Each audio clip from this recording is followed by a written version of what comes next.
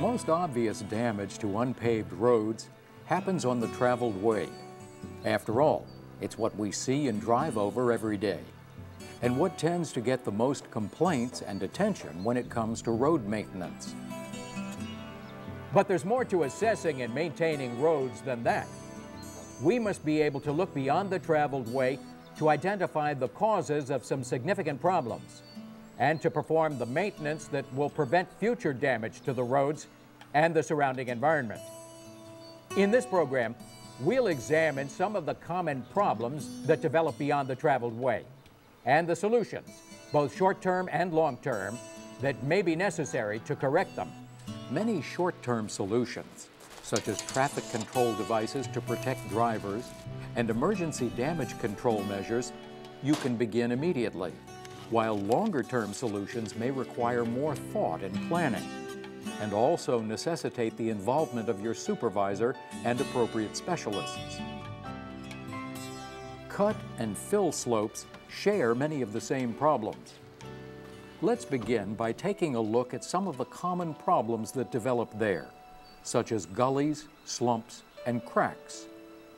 These are signs that the earth is unstable and that the integrity of the slope may be in danger.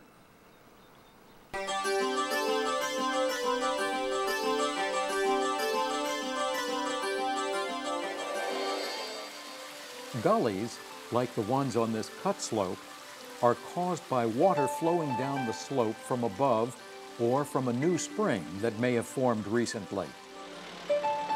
One longer-term solution is to look for the source of the water and attempt to divert it to avoid further erosion. However, in the meantime, you can stabilize the gullies with vegetation or riprap. If the gullies are deep, as they are here, document the slope's condition and discuss possible solutions to the problem with your supervisor, including your own recommendations. One cause of fill slope gullies is concentrated water spilling down the slope from the traveled way. This could indicate a damaged or incorrect road template, or a blocked ditch or culvert. Erosion can also be caused by unnecessary berms left on the outside shoulder of the road, concentrating the flow of water onto the fill slope. Another cause of fill slope gullies is water pouring out of the culverts onto exposed soil. This is especially true if the culvert is a shotgun pipe that causes the water to fall several feet before it hits the ground. Installing riprap under a culvert outlet armors the ground and slows or prevents future erosion.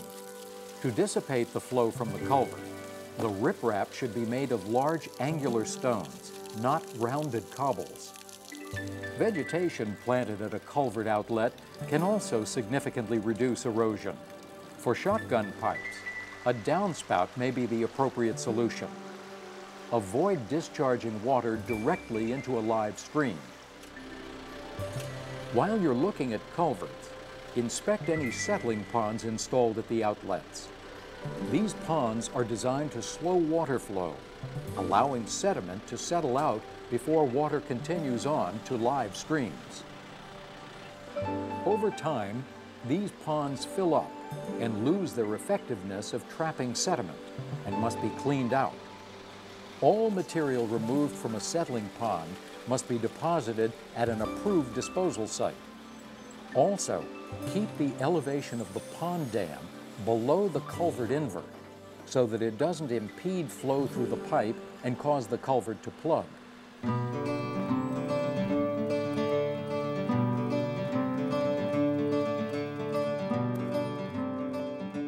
Cracks are a sign that earth in the slope is not stable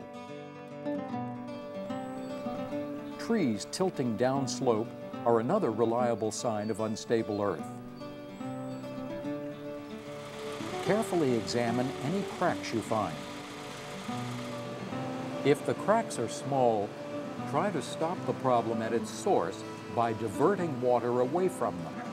Then stabilize the area with native seed. Large cracks may indicate an imminent slump or slide. so notify your supervisor immediately. If a slump or slide does occur, place signs or barricades to protect the public until permanent repairs are made. In the meantime, you can try to control the damage by diverting water that may be saturating the road. If the slide is on a cut slope, try to restore drainage on the road by digging a small canal around the toe of the slide so that the traveled way doesn't get saturated. Do this as soon as possible before any material is moved. As you work, be careful to keep your wheels out of ditches containing water. Churning a ditch into mud is not good for the ditch, the road, or the environment. Ditches are designed to accommodate the flow of water during heavy rainfalls or snow melts. One of the most obvious signs that a ditch is failing is water overflowing onto the roadway. This typically occurs due to obstructions in the ditch, such as rocks, sediment, or plant debris. Keep in mind that having vegetation and debris in a ditch slows the water and prevents erosion. So it's beneficial as long as the ditch remains functional. In many cases, the best erosion control treatment is not to clean out the ditch. Ditch cleaning may increase ditch erosion, which may in turn increase stream sedimentation. However, you do need to look for signs that a ditch isn't functioning as it should. High water marks on the ditch walls, or debris and erosion across the traveled way are sure signs that a ditch isn't functioning well during peak flows. If, in your judgment, there's a sufficient quantity of debris present to impede water flow in the ditch, you'll need to make a decision on whether to pull or heel back the ditch with a grader. A typical repair job may require both techniques. Remember, just as in road surface blading, work only the areas that really need it, leaving the other sections undisturbed, and use a light touch. The most serious kind of ditch erosion is called head cutting. The water seems to cut steps in the floor of the ditch. This problem can only grow worse with time and must be repaired as soon as possible. The solution is to reduce the flow of water to the area affected, installing a cross drain, ditch dam, or ditch relief culvert uphill, or protect the ditch with riprap, rock, or vegetation. Each of these alternatives will slow the flow of water and protect the soil from being swept away. As you continue to check out ditches, look for standing water. If water moves too slowly through a ditch, or not at all, it can permeate and damage the subgrade. The ditch may be blocked by a foreign obstruction. If so, remove it so the water can move freely. If there's no obvious obstruction, the standing water may be caused by a ditch with no grade. A ditch relief culvert or similar structure may be needed to drain the water. If this doesn't work, the ditch may need reconstruction. Another item to check when inspecting a ditch is any sign that water is bypassing a culvert. Clues may include scouring and high water marks directly beyond the culvert inlet. Sometimes this problem can be caused by plugged culverts due to foreign objects, or by accumulation of sediment, or by the water simply missing the culvert inlet. If this is the case, ditch maintenance is needed. Another cause of water missing a culvert is a sediment-filled catch basin. Catch basins are built at culvert inlets to capture water from the ditch and direct it into the pipe. Some may fill up with sediment over time and must be cleaned out to maintain their effectiveness. All sediment you remove must be deposited at an approved disposal site.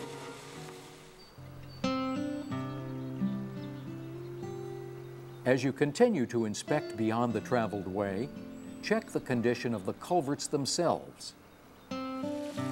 Water flowing under or around the culvert is a major problem. One solution is to pack clay material under and around the culvert inlet. The culvert may eventually need to be replaced. Also check to make sure the culvert is not physically damaged. If you find a pipe that's crushed or damaged, try to fix it. Some techniques used for field repair include hydraulic jacking, or gently pulling the damaged area using a small chain attached to heavy equipment.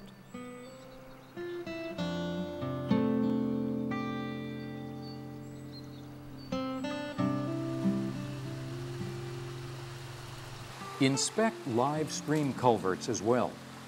Many of the solutions to faulty ditch relief culverts also apply here. For instance, check both the inlet and outlet sides of the culvert to make sure it's not plugged with debris. If you must clean it out, don't expand the width of the inlet channel. A narrow channel helps funnel water and debris through quickly, so it's less likely to become obstructed. Try to visualize what would happen if the culvert does become plugged. Would the water flow over the road and back into its natural channel? If so, good. But on the other hand, if you believe the water would be diverted down the road, notify your supervisor.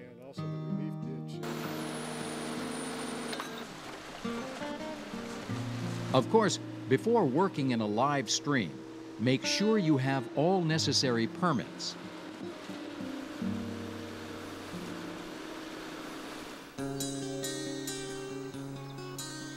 Forests are growing living things and left to their own devices, they tend to reclaim open areas like unpaved roads.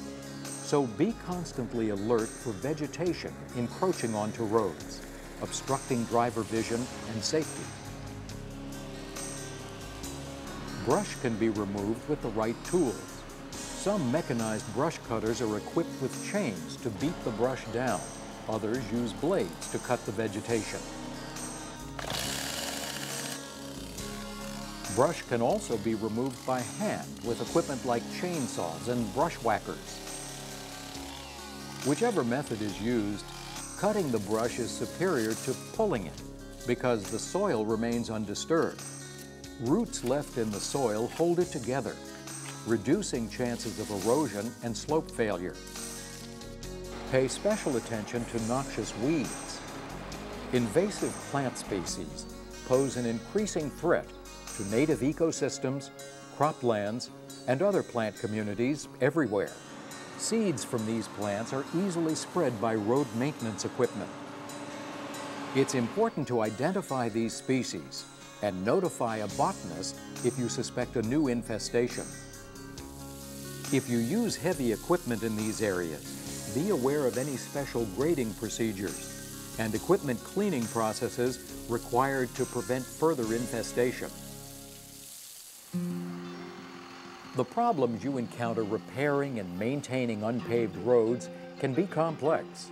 By using your skills and experience to read beyond the traveled way, you can identify the cause and possible solutions to each problem you encounter.